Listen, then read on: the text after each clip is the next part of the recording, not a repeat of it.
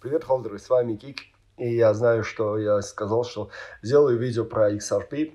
Так вот, я сделаю не один видео, а много видео про XRP. Я вообще периодически буду говорить про XRP. А, потому что XRP монстр. Реально, это просто монстр, этот токен. И компания, которая стоит за XRP, Ripple. Я два года уже держу XRP. И каждую неделю, каждый месяц я просто восхищаюсь тем, как они работают и как сложена эта команда. Просто супер. Но об этом чуть позже, потому что сейчас есть более важная тема. Я заметил, что э, кое-что неправильное происходит. И это из-за новостей, и это из-за Ютуба даже. Ну, я общаюсь с людьми и вижу, что они покупают какой-то коин или токен, потому что какой-то ютубер сказал, что он держит этот коин. И вот они доверяют ему, покупают этот коин, и когда через месяц ничего не происходит, два месяца, и другой ютубер, которого тоже они как-то начинают верить, говорит, что вот этот коин уже не то, проблемы с этим, с этой компанией, с этим проектом. И они разочаруются и продают. Или продают немножко в плюсе, или ну, часто продают в минусе. И после этого, как назло, сразу начинает этот коин расти. Да? И сегодняшнее видео очень важное видео, потому что я бы хотел, а на чем нужно четко сфокусироваться, чтобы вы из своей инвестиции взяли максимум. Самое главное знание, это когда ты должен продавать свои коины. Есть Apple, есть iPhone. iPhone с каждым годом продается все больше и больше. Но я продал акции, свои, э, свои акции Apple. Почему? Потому что уже три года количество продаж не поднимается. Поднимается цена на iPhone.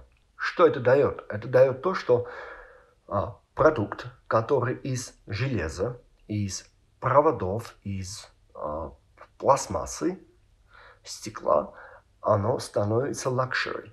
И такой продукт не может долго держаться на рынке. Этот опыт мы имели. Мы видели это уже с BlackBerry это э, четко нужно понимать, что это не золото, это не бриллианты, чтобы цена поднималась. Это пластмасса, это железо. Да, мы понимаем, что есть программное обеспечивание, есть э, над которым люди работают, есть маркетинг и все такое, дизайнеры. Но все равно это не железо, это не золото, чтобы цена поднималась. То есть рынок всегда сам себя нормализует. Потому что потребитель он готов купить на 1000 долларов, он iPhone он готов купить на 1500 долларов, но вот уже 2000 долларов он не может купить. А компания Ripple это публичная компания, ему нужно показывать рост инвесторам, а то акции, если нет роста, а акции не будут дорожать. Вот поэтому что сделать? Они вошли в, Кита... в рынок Китая, все было отлично, но они не смогли никак войти в рынок Индии. Там вошли Oppo, Vivo, Другие смартфоны отлично вошли, но Apple не смогла войти. То есть получилось так, что просто нет новых людей, которые хотят купить iPhone. Чтобы больше компания начала зарабатывать деньги, нужно просто а, сделать так, чтобы iPhone стал дороже. А почему я это сказал? Потому что это очень важно понимать ценообразование, то есть сколько, что сколько может стоить. Я вышел в плюсе. Почему? Потому что я просто понимал это, и это не, это не сложно, правильно понимать, что почему вот так происходит и акции Apple, почему они упали? Потому что Apple опубликовал репорт, что продажи, у них проблемы с продажами. Да, у них есть проблемы с продажами. Почему я это говорю? Потому что неважно, вы покупаете криптовалюту, продаете, или покупаете акции Apple и продаете. Если вы знаете, как образовывается цена и из чего исходит рост цены или снижение цены, вы понимаете, когда продавать. То есть есть точное понимание, вот сейчас я должен продать. 90% людей, которые покупают, они не делают такой простой анализ. Они покупают и ждут, когда цены будут расти. Как уже сказал, XRP уже держит 2 года промежутке стоило 3 доллара, сейчас стоит 35 центов. Я не продал тогда, я не продаю сейчас. Почему? Потому что эта цена не фундаментальна для этого продукта. Я не профессиональный трейдер, чтобы вот там продать, а тут купить.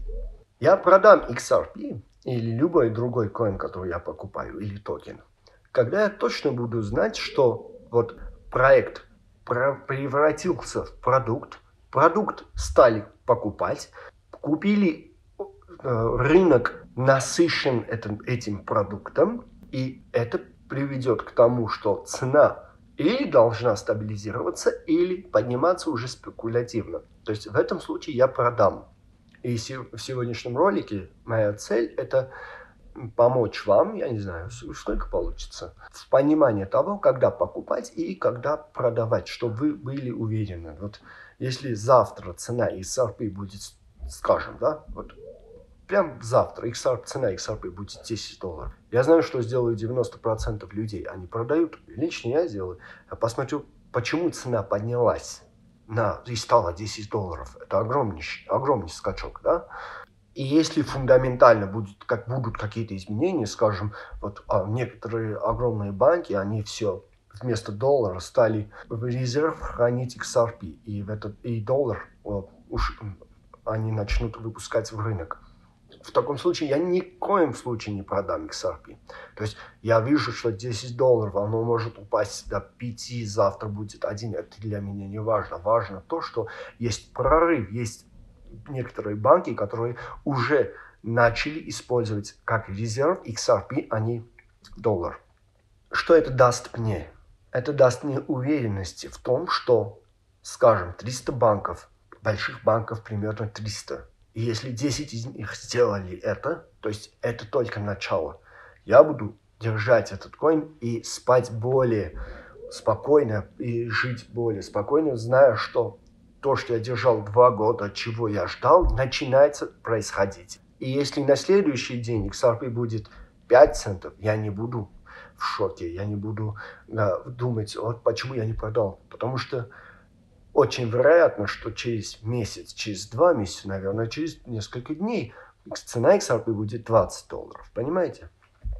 То есть я продам, к примеру, XRP тогда, когда я тот рынок, на, на чем они сфокусированы, то есть 80% а, или как, неважно какой процент, но вот максимальный процент, все, вот рынок уже а, на своем максимуме.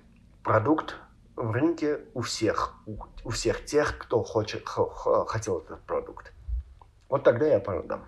В это время мне не важно, любой ютубер, любой новостной а, издательство, что он скажет. Мне это не важно касательно XRP, какое у него мнение. Сосредоточить внимание на фундаментальные изменения, а не на цену. Вы не должны думать продавать, если цена быстро растет. Вы должны нейтрально, абсолютно нейтрально относиться к тому, что цена быстро растет. Если вы не профессиональный трейдер, если вы не занимаетесь трейдингом. Потому что если цена быстро растет и есть фундаментальная поддержка для этой цены, то оно или стабилизируется, или будет расти до тех пор, пока фундамент будет поддерживать эту цену. Продаем только тогда, когда фундамент из-за фундаментальных изменений цена стабилизируется. И рынок насыщен этим продуктом. Вот и все. Следующее видео будет про XRP. Это точно. Спасибо.